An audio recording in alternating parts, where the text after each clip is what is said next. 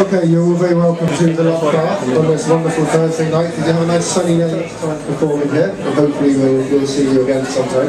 Let's have a, round of applause please for Hitu Liu Motti.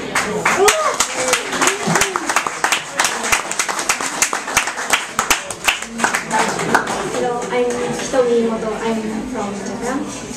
Uh, I I like to sing two songs. Uh, the first song, uh, I'm Japanese, but the, the the song is Jamaican song.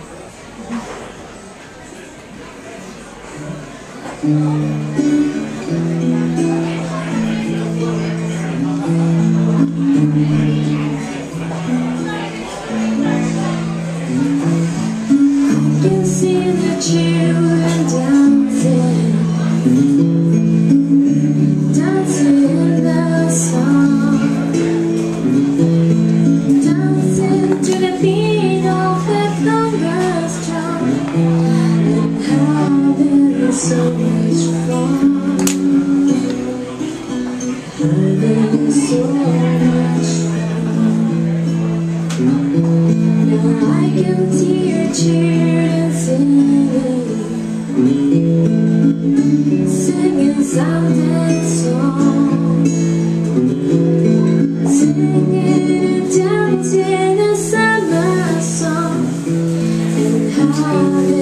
so much fun. There's a Jamaican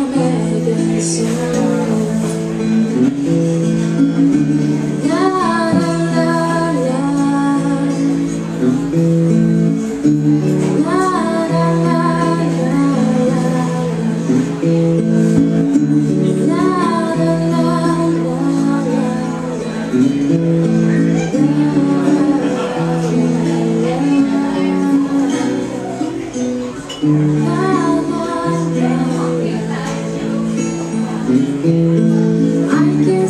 a song.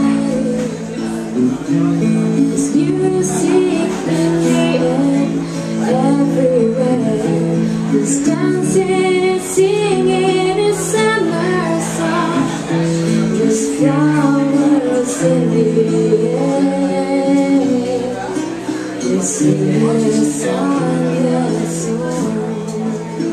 song. I can see the trees